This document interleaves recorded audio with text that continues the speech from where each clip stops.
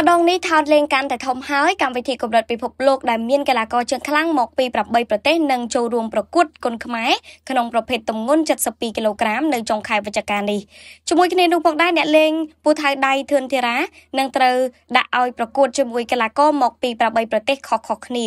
ហើយអ្វីដែលកាន់តែពិសេសជាងនេះទៅទៀតគឺប្រសិនបើកីឡាករធឿនធីរ៉ាអាចដណ្ដើមបានជ័យជំនះនៅក្នុងការប្រកួតនោះ Gensberg នឹងឧបត្ថម្ភឡាន pick up ដ៏ថ្មីស្រឡាំងមួយគ្រឿងតែម្ដង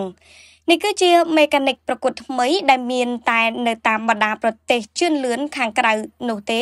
ទើបមានការប្រកួតបែបនេះប៉ុន្តែពេលនេះគុនខ្មែរបានរីកចម្រើនដល់ចំណុចកំពូលហើយទាំងកេរ្តិ៍ឈ្មោះទាំងសមត្ថភាពដល់ពេលហើយ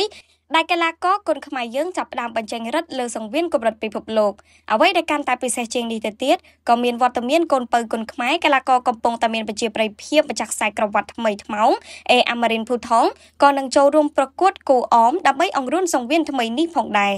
ដើម្បីចូលរួមសັບផ្សាយគុនខ្មែរនោះ Gensberg នឹងលើកស្ទួយគុនខ្មែរឲ្យឡើងដល់កម្រិតពិភពលោកបន្ថែមមួយទៀតក្នុងនោះក៏មានការផ្ដល់ជូនកាដូយៈសម្រាប់កីឡាករធឿនធីរ៉ាប្រសិនបើកីឡាករធឿនធីរ៉ាអាចដណ្ដើមបានជ័យជំនះនៅក្នុងមហាព្រឹត្តិការណ៍យៈ Gensberg គុនខ្មែរ World Cup នោះផងដែរដែលជាការប្រកួតគុនខ្មែរ Eggman Tournament មកពី8ប្រទេសផ្សេងៗគ្នាកម្មវិធីនឹងប្រកួតប្រព្រឹត្តទៅនៅថ្ងៃទី23វិច្ឆិកាឆ្នាំ2023ខាងមុខនេះហើយ។